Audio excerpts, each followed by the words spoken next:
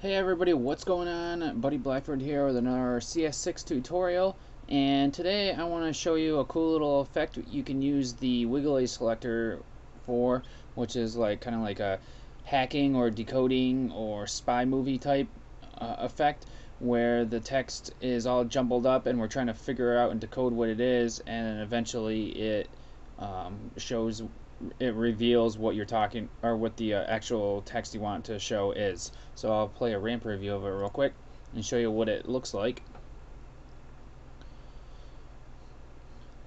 Or whatever's going on with the RAM preview. Oh, here we go.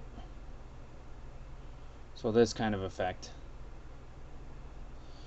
Uh, I should probably extend it a little more at the end, but basically the the letters just jumble up and then letter by letter we figure out what's going on and what's being revealed and it comes out to be um, what we wanted to say. So I'll show you how to make that real quick. It's not that hard and let's uh, let's go. So I'll turn this off and we can start writing a new set of text here. Spy hacking movie title or something like that. I don't know if that makes any sense, but we'll just make this a little bigger so everyone can see it better. And what the first thing we're going to do is twirl down into our uh, text settings. We don't need this transform open. We're going to click on the animate button here. We're going to go to character offset. And what we're going to do is we're going to change, this is the random seed for the character offset down here. We're going to change that to anything except for zero. So doesn't matter what it is, I'll just put 51 for anything.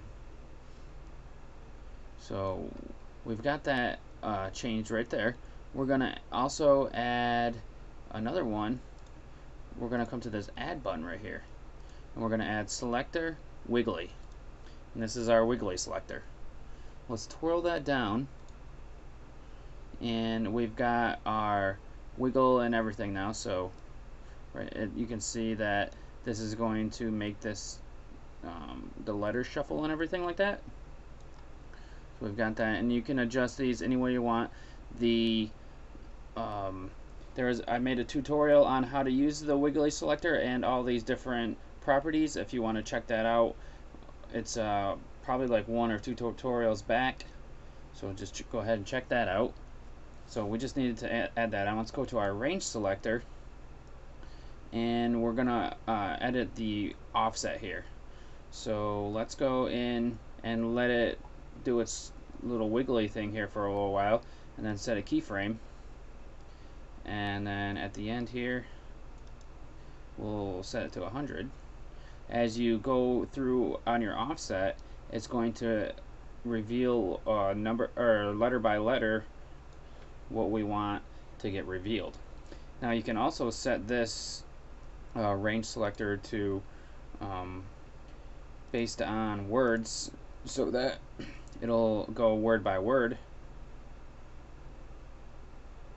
instead of letter by letter but that's up to you. So that's how to do that. Let's do a RAM preview.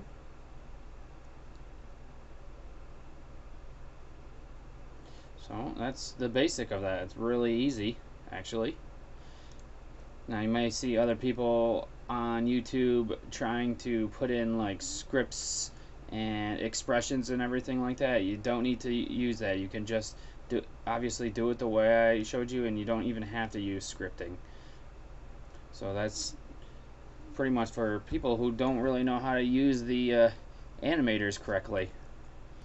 So thanks for watching this quick tip and now you know how to create one of those uh, hacking sequences there. So I look forward to seeing you guys in the next tutorial and I'll try to make something cool that we can uh, work on. So see you guys later. Have a good one.